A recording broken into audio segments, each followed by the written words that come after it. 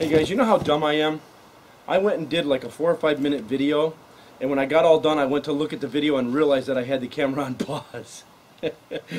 oh well. Anyways, we'll try this again. Now when I did my video on my drip system that was in this bed, I had a lot of people comment, well not a lot of people, I had a few people comment about, they want to know what this plastic structure was that was sitting on the ground over there. And what this is, is this is like a mini greenhouse that sits on top of this raised bed. Because in this bed I have I have kale, I have pak choi, and I had some lettuce in here. And um, it's been fairly mild here. We did have a really cold snap, so it came in handy. But I don't keep the plastic on it because the the the the sun just you know beats the plastic you know to no end. And when I do take it off, I try to put it in the shade. I have a madrone tree over there. I put it in the shade. But um, I really haven't put the, the plastic on it too much this year. I just when it, we got a cold snap, I just draped a piece of plastic over it. But um, I usually, you know, put the plastic on and then put it under cover. But basically, this bed is about eight feet wide.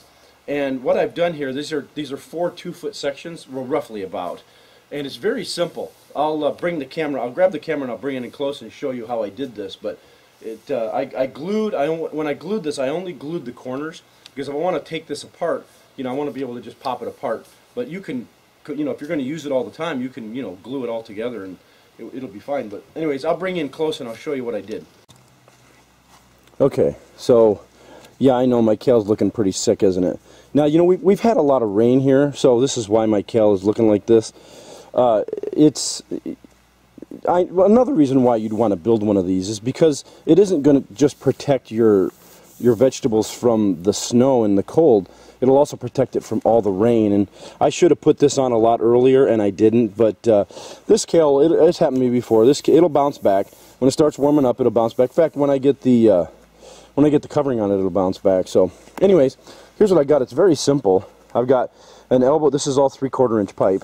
I have a 90 degree elbow here with a straight pipe going down to here with another T-joint, with a T-joint and then a small 45 down here. And then down there another elbow going to there's a small piece connecting it to a T-joint. It comes up and these are 45 degree joints right here. And I've got four 45 degree joints going down to another T. And then I just put in a section a two foot section and I repeat this all the way down now the reason why I went with 45s because I could have gone up with a 90 and then gone over but it, what happens is when you have a big flat top, you get a lot of rain and you get a lot of uh, snow on top of it. So this, what this will do is this will allow the rain and everything kind of whisk off. I have another section here, the same, and then I close it off with the exact same over here on this end with the 90 degrees. And this one over here, I don't have one of the T-joints in the middle, and I'll show you why I have that. And then on the top, I just connect it with these four-way connectors right there. Okay, now the thing is, is that this stays inside because it's sitting on these 4x4 posts that, that I built the bed with, and it doesn't fall off. And what you could do, I mean, I guess you could anchor it here with those with those conduit anchors, you know, the little brackets, and then you could you could lift it. But or actually over there, I usually get in from over on that side, and I lift it this way. But you could lift it either way. So you can lift it like that. Now the reason why I have that is because when I lift it from the other direction, I have a three-quarter pipe that I put in there, and then it basically just stays up. And you could face that any way you wanted. I could turn that if I wanted to get in from this side.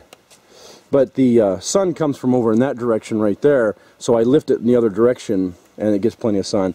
And when it warms up, of course, I don't want it to get too hot inside of here. And on nice days like today, of course, I lift it up and let the let the um, the air in and let it dry out and the, the plants just love that. So anyways, the uh, last thing to do, well, like I said here, now this is my this is my grape arbor. My grapes are really small; they're only one year old. So basically, uh, it, as those grow, the reason why I didn't glue this also was because I'm going to take this section out. So this, I glued this end, but I didn't glue this. So basically, this piece will, or I didn't glue it here, but any, I didn't glue this in. So I can just butt this right up to here, and then my grapes will have plenty of room to grow, and I'll just lose this two feet, and then my bed will basically be six feet. But anyways, the last thing to do is put plastic on it. Now, the kind of plastic that I bought, I just I just bought this plastic sheeting here. It's just a roll that you get, you know, any old hardware store. Just the cheap stuff. I think it's uh, I don't know how much how, what mill it is. Uh, let me look at this here. Well, I don't know. Doesn't say. Anyways, uh, it's you can use any any uh, thickness of plastic that you want. You don't want to go too thick because then it'll kind of you know it restrict the sun or you know coming in. But anyways, yeah, the last thing to do is put the plastic on. And the first thing that I do is I cut my plastic to go from all the way down the bottom here over the top, and then it comes over here and then down, and then basically you just unroll it. And to, to attach it, you just bring it down here and then bring it up around and then just you know tape it to itself. If you want it to look good you could use that plastic you know the clear tape but I, I don't care. I just use um, duct tape. But anyways putting the sheeting on is the last thing here